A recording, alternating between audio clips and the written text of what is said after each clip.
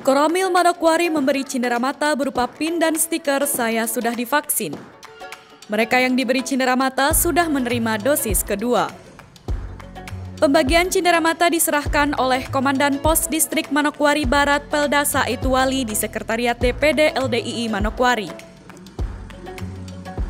Menurut Ketua DPD LDII Manokwari, Soleman Paputungan, pemberian pin dan stiker itu sebagai bentuk apresiasi kepada masyarakat yang sudah divaksin dosis 2. Tak hanya warga LDII, Pemberian pin dan stiker ini juga diberikan kepada pelaku ekonomi dan masyarakat umum yang sudah divaksin.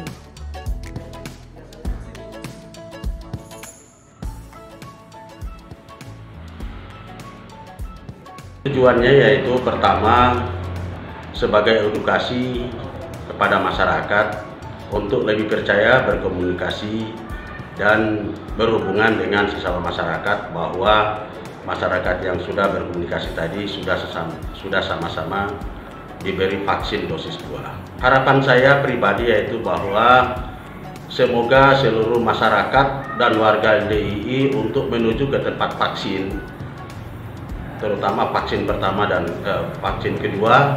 Yang kedua bahwa semoga pandemi COVID-19 ini cepat berlalu dari bumi Indonesia dan dunia pada umumnya. Kegiatan ini merupakan tindak lanjut program Pemda Manokwari dalam memutus rantai penyebaran COVID-19. Pemberian pin dan stiker tersebut sekaligus untuk memvalidasi data warga yang sudah divaksin.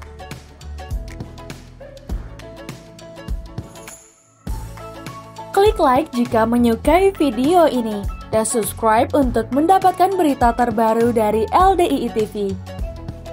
Alhamdulillahi jazakumullahu khairah telah menonton.